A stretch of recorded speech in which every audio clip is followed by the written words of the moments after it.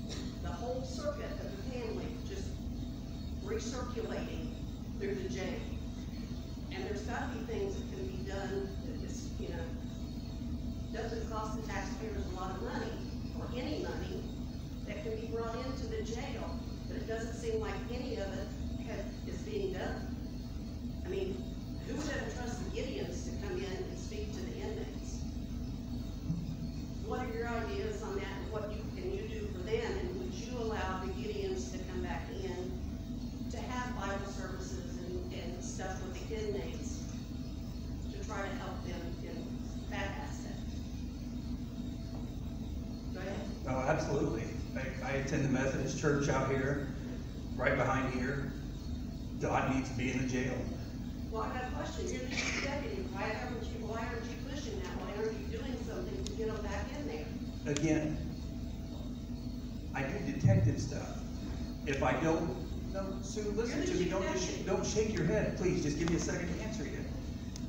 You want me to solve this case, you want me to solve this case, but then you also say, why aren't you pushing for this, why aren't you?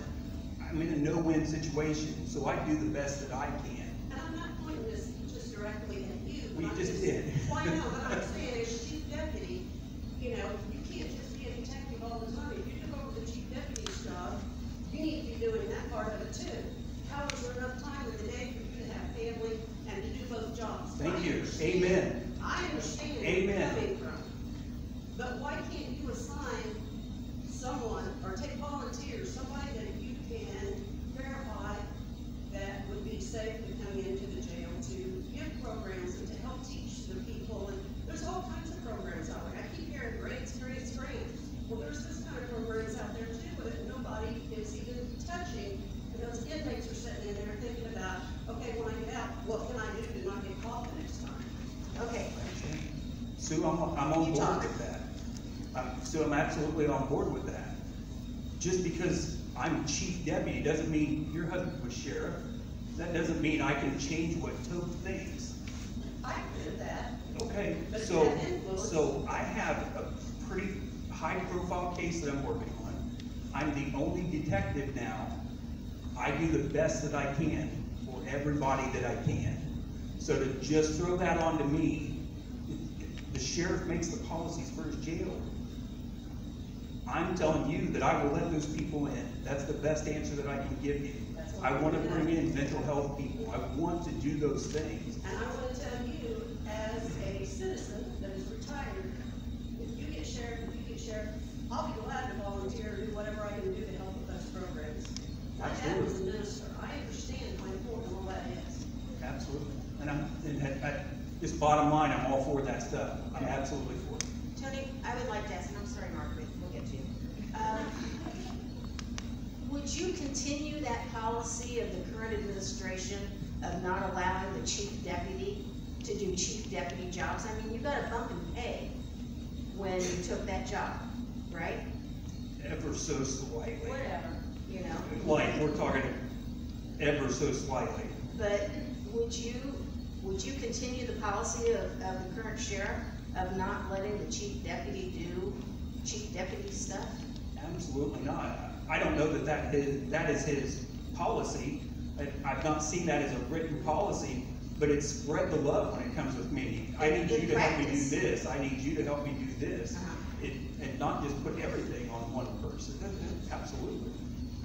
Mark, you wanna enter into this conversation? I kinda made it go sideways, but, I'll, I'll get into uh, allowing different programs and different uh, people into the jail. Mental Health America, NAMI, substance abuse, counselors, all need to be in there. God needs to be in jail. What you have is when you have, and I've been doing it long enough, I've seen parents, child, and now their children. So I'm probably three generations into dealing with the same. So what we've got to do is stop recidivism. That's the biggest thing. in all those different places like Mental Health America and Substance Abuse Counseling, and even the Bible with whatever minister or whatever they think is necessary for them at that time in jail. I'm in hopeful that one person will pick something up and let them not be in jail again. And that might build into with that. So it'll stop two problems. It might help the initial person that had a problem because they can't be the best father, the best mother that they can be. Maybe they will then in turn make it to where their children aren't in jail. So, and then you had another question about the chief deputy spot. yeah, yeah. Okay, delegation is key. One person can't do everything. And what you have to do is have someone in that spot that you fully trust and know what his morals and values and integrity stand for, and have him do your work with you. Not for you, but with you. Okay, other questions? Becky? Okay. It's obvious we're short-staffed. Mark, you have said over and over that there's help there waiting to help us. Win, lose, or draw. I don't care which one wins. Are you still willing to help our county? And are you willing to accept help for our county? Mark, you go first. Mark, you go first. I do help this county. I got a call, I'm trying to think when it was, from the chief of Flora. When they had, what they didn't know was a murder at the time, not too far from my house. I got that call, they were busy, they were short.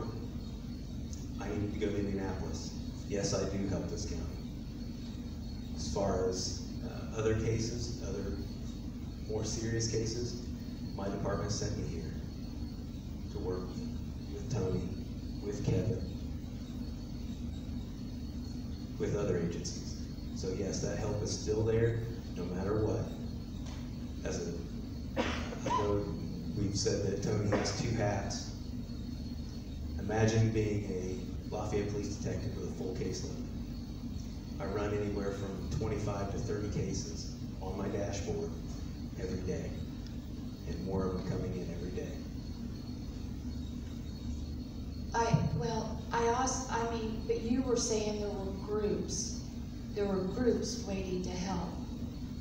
Are those groups still willing to help if you're not sheriff? Yes. The groups that I'm speaking about have been turned down for help. Tony, The groups have not been turned down. The groups that, if we're talking about drug task force, that, when we, when we have things that need work in the drug task force realm, we contact state police. Con- State police is working with Lafayette, Tippecanoe County. Regardless, I don't have a problem with Mark, Lafayette Police, but I don't have a problem with Lafayette Police Department, Tippecanoe County. We're all good old boys. All of us are good old boys, and we, we will help in whatever way we need. And I'm not a good old boy. And I know, and I'm called for. There's, if there's something I need, and it deals with Lafayette, I call Mark. And the same thing, if something that happens in Carroll County, he needs me, he calls me. That's, that's how it works. This is not, I'm not an adversary with Mark Pinkers or Lafayette or anybody. We're all gonna work together all the time. If we need something, Lafayette will send guys from their drug task. It's, it's not adversarial. It, it really is not. Other questions? Oh, thank you. One, just, okay. on, on this, you said that help has been refused. Why? I don't know what help he's talking about. There have been agencies that have uh, offered help to different cases. Won't get into which cases they are. TBI for one of them, Tennessee Bureau of Investigation, the Georgia Bureau of Investigation. They have wanted to help. And they have. Okay. Anybody else? Yes, Can I ask who has the authority or what you need to do to raise that levy? This has been a great debate, but it sounds to me like this county, and I'm one of the last people to want to pay more taxes, but it sounds like that levy is gonna have to be lifted, and that levy was put in place, what, 30, 40 years ago? I don't know when, but someone, I don't know who in this room can do it, but somebody needs to get that levy taken care of or get it, get it off there so these guys, whichever one of them gets elected, and other office holders can get some funding to pay these people a decent wage. I, I don't know, I've, I've, I've said here, there's been a great debate, but my God, they can't do this with nothing.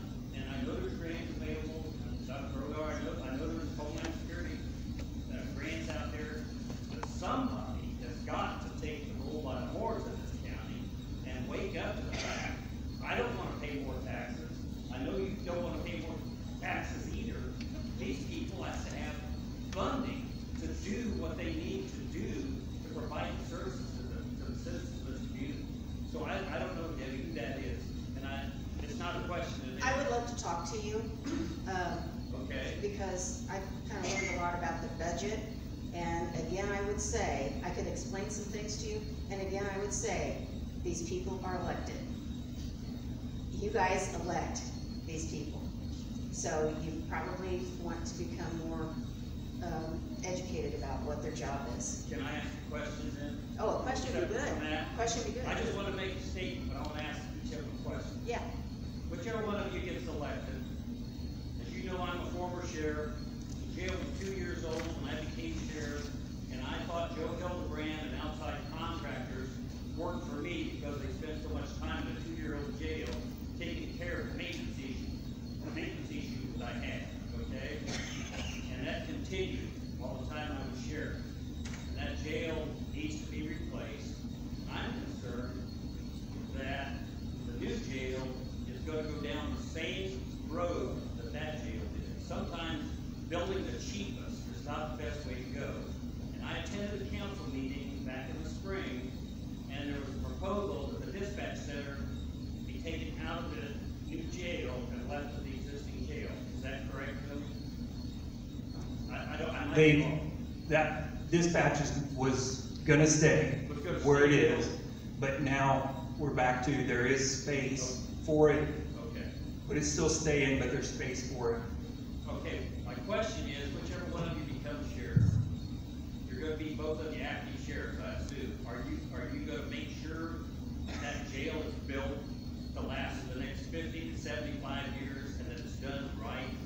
And building it on the county home property, in my opinion, and this is my opinion only, is not the place to put the jail.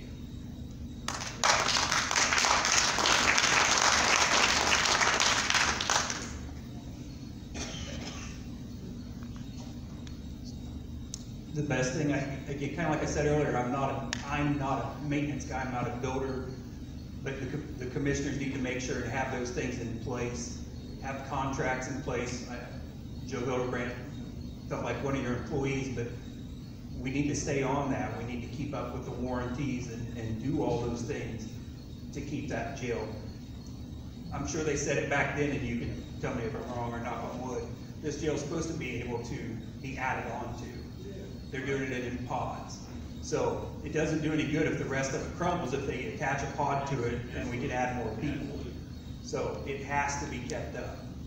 It has to be. And, and that's down to like, actually, they probably don't really have brass anymore. We have brass up here that, you know, polishing brass and things like that make a big difference. Well, transport these prisoners, these inmates, to Cass County, to Clinton County, to White County, wherever all you take them, that's a security issue, that's a safety issue, that's a liability issue, and it costs a heck of a lot of money.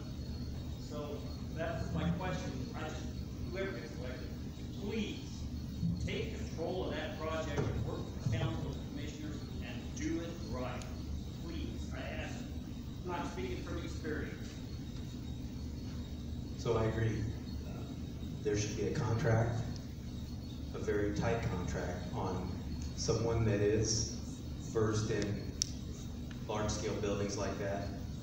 Not necessarily after it's built, but while it's being built, to make sure that things are done right, up to standards, so that obviously when it's built, that person has in-depth knowledge of the systems in it, so that they can care for it continue that contract so that one, it's built correctly, and two, that they know how to deal with it once it is built and how to maintain it.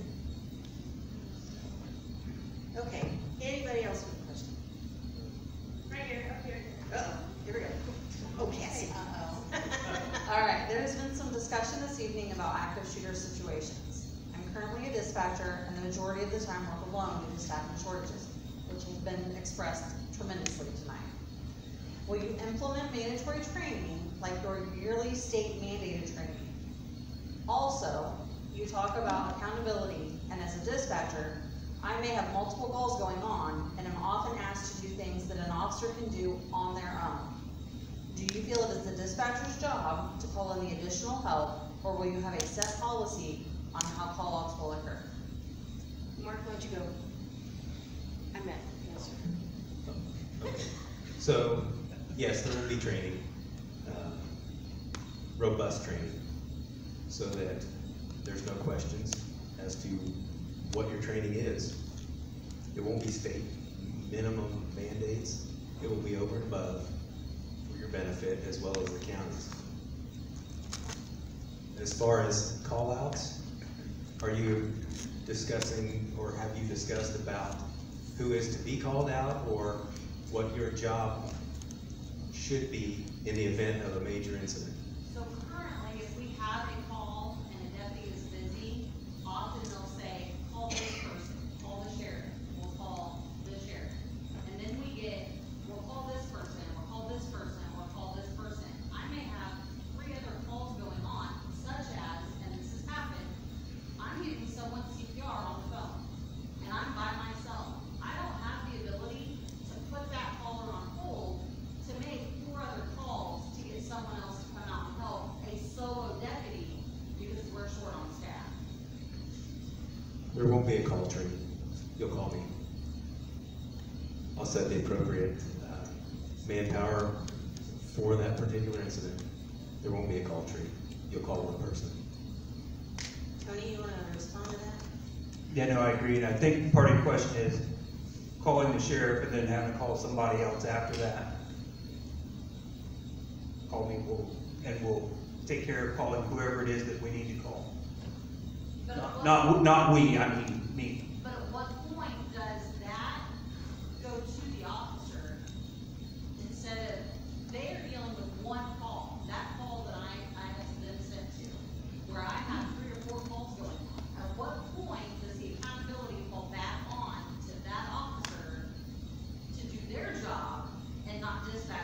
job for them. So your question is, have the officer call the sheriff to get, yeah, absolutely. We should make that happen. We, we should make that happen, absolutely. I don't, I don't know that I've ever asked you or dispatch in general to call somebody else to call them out. You just make the call. Okay, I have a question up here, Oh, or no. a statement, sorry. okay. Hi, I'm Dale Seward. Um, Several years ago, probably about 20 years ago, uh, the, there was a program implemented where there was dual uh, TV monitors, one in Superior Court and one in the jail. And that may have been before your time, Tony. I don't know the exactly when it happened. But for some reason, th- this was implemented under Curtis Fouts when he was the judge of Superior Court. And all of a sudden, those monitors disappeared out of the courtroom. I can't say whether they did out of the jail or not, but they, they were removed for some reason. Um, and we've talked a lot tonight about staffing issues. To me, that was a great idea because you could do the um, preliminary hearing for court and not have to take staff to move the person from court to the courthouse, or from jail to the courthouse. So, uh, would you be in favor of implementing a program like that to, to save on uh, using uh, staff members to get people from the jail to the courtroom if they could just do it over monitors? Or has that been uh, illegal now and it can't be done? You- What's your opinion on that? Yeah, there's, Um, no, that, that was, I don't know why they're not doing that now. There was a, a jail meeting where we found out for sure all that's gonna be capable in the new jail, video visitation, so you don't have to just go get the inmate, take, clear up, you know, just take the, the time to take somebody up to visit, be video visits. So there's brand new monitoring systems in Superior Court. So those capabilities are there. I don't know why it's not happening, if there's something wrong with it on the jail side, because I've taken people to, I've transported people to court, and attorneys are on the TV, you know, they're, they're making their presence in over video. Um, they don't, to my knowledge, I've not seen that in circuit court at all, but the capability is there, and it, and it's, it's gonna be really enhanced in the new jail. So Dale, better than that is, um, with this new jail, we make a spot or have a spot allocated for the judges to come there. So there's no transport, there's no video monitoring.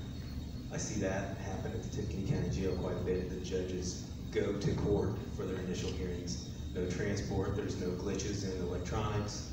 It's face to face. However, the judges are there with them. okay, I think it's time for wrap-ups. Tony, do you wanna start? Please, thank you. So I think that one of the questions earlier was about whether or not we're a politician or a public servant. In my conclusion notes right here, one of the, the first sentence is, when I decided to run for sheriff, one of the biggest hurdles I knew I was gonna have is that I'm not a politician, I'm a public servant. I'm no different than anyone in this room, other than I feel like I've excelled in my law enforcement career, and I feel like I'm the best choice for the next Carroll County Sheriff. That's it. My roots are deep in this community, county. They'll be even deeper, because I have no plans on going anywhere. This is all I know. This county is all I know. I've only lived here for forty-nine years, but I hope I get another forty-nine. With my training, skill, and ability, not only do I have the training, but I use it on a daily basis. The skill comes with using the training on a daily basis. I've been polygraph examiner for criminal cases for a number of years. I have the training that we don't have to spend thousands of dollars from this county because I've already got it. I have training that's no longer available from the FBI, from the Secret Service, I've been in Hoover, Alabama to do some amazing things with computers. The team of people that I have worked with for a number of years fully back me. I know Tony says the deputies back him. I would fill this room with supporters from my department. I know that. I have trained the trainers that have trained these guys. For that reason, I'm your independent candidate for sheriff. Make sure that when you vote, you don't have to choose. That choice will be taken from you if you choose a party. Go through and look for the best candidate. And when you do that, you're gonna find me as your independent candidate. Thank you